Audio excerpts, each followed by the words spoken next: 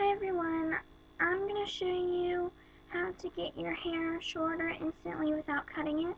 I'm sorry I haven't been on in two weeks, I've just been really sick. Um, so I'm just going to show you how to get your hair short without cutting it. I'm just going to take some ribbon or any fabric of your choice. Ribbon is the best choice, but I'm just using some fabric I found.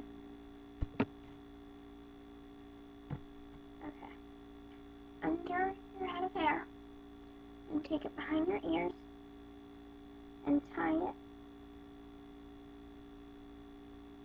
just lightly and then go all the way down your hair. Go down your hair and then tie it usually at the ends of this area. And then tuck it under.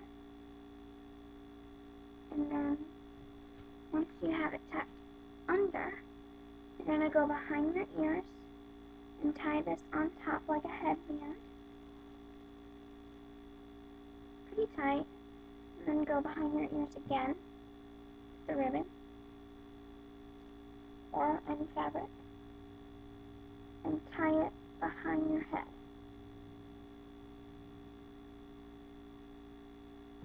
so it looks like this.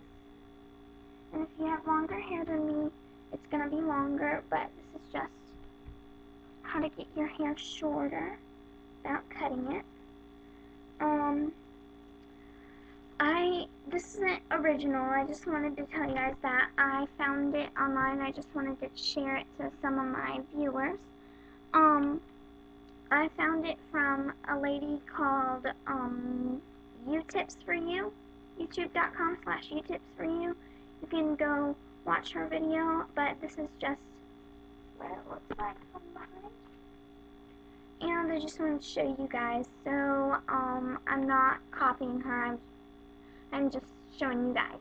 So that's it, and I will see you all later.